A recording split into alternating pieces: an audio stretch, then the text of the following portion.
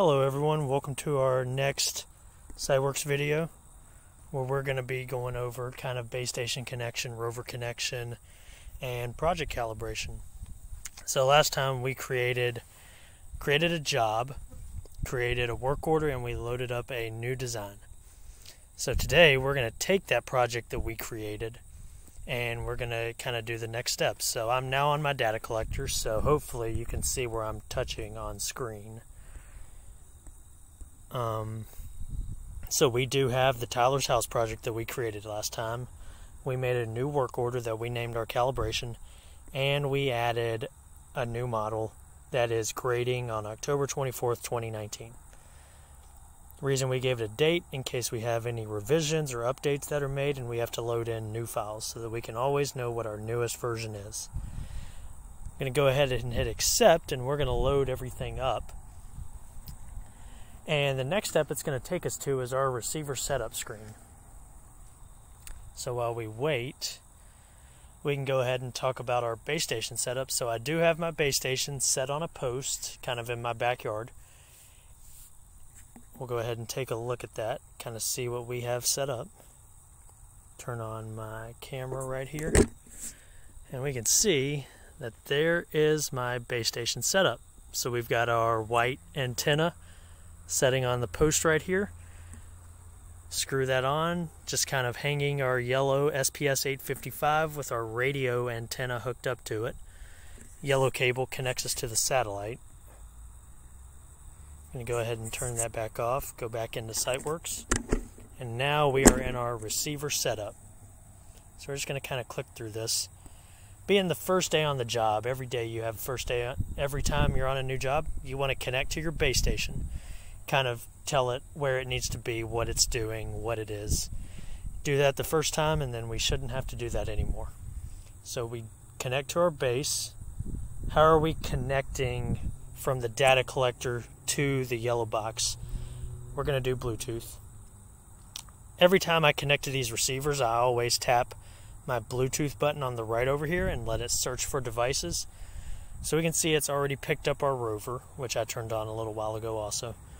We're waiting for the SPS 855 to pop up. You can see over here on the left we have our model name followed by the serial number, which in our case is the 5842 for the SPS 986.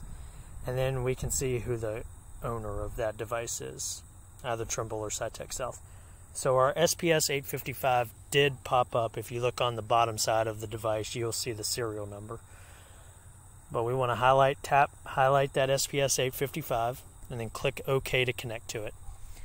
And it may take a minute to connect, and you may see that add a device pop up come up at the bottom right.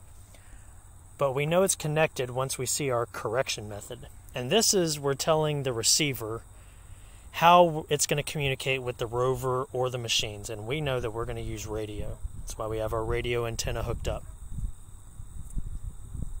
Now we're going to tell it what network it's going to communicate over. And for our sake today, we are going to choose 25. And 25 is what you're going to want to have all of your machines and rovers set on out in the field. 25 from here on out. Base position. This one is important. This is where we're telling our base station where it's going to be on the job. If you've got it mounted on a post in a random location on your job, you are always going to choose unknown position. And then you're going to give your base a name and you want to use some kind of identifier for your job. So I'm going to say, I'm going to name it house. And then just, I would do your company name. So I'm just going to say Tyler after that. And now I'm going to see my base name as house dash Tyler. And I'm going to hit OK. Antenna. That is the white Zephyr in our base. It's whatever you have mounted on top of your pole. Trimble has all these different options for what kind of Zephyrs you what kind of antennas you can use, not Zephyrs. So in our case, usually on the bottom it has the model name of it. In our case, if we were to look on the bottom of our antenna, we would see that we have a Zephyr 3 base. So measure method. This is also very critical. If you have it on a post, you're always going to set it to zero. Why is that? it's basically where is your control point. So on our posts, when we get done with our site calibration, we're going to save a new control point. And we know that control point, I'm going to go back and turn on my camera real quick. We know that that control point is going to be right here at the top of our post. Hopefully everyone can see.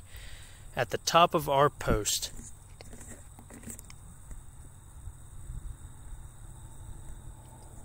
So we're going to set that to zero. In a future video, we'll go over setting your base station up on a tripod, but just for now, we're going to set our antenna height to zero feet. On a post, set it to zero. Go ahead and hit accept, and our corrections are going to be CMRX, so we're never going to change that when we're using a Trimble base station. So we're going to hit accept here, and it's going to give us some info. It's going to give us the latitude, longitude, and height of our base, our base name being Tyler, which you can see right there where I'm clicking, latitude, longitude, and height, radio channel, our vertical height of our antenna is zero. So we're all we're happy with all that. We're going to hit OK, and then it's going to disconnect from our base station. Disconnecting. All right, so now once we've done that, we can see SiteWorks. I've just got a little building pad designed in the back here. The black triangles are our control points. Now we want to connect to our rover. So a couple things about Trimble SiteWorks. We've got our couple panels here that we can see where I'm clicking. Info bar at the top, battery at the top right. We can see we're in measure mode. At the top left of our screen, we have our menu. I'm just going to click on that, open up our menu. Project setup is where a lot of our project changes, overall project changes, if we wanted to pick a new design, pick a new project, or in our case, connect to a device. So we want to connect to our rover now. So GNSS or GPS, that's what we're going to click on. We're going to choose our rover. Once again, how are we connecting our data collector to our actual rover? That connection is going to happen over Bluetooth. I'm going to tap my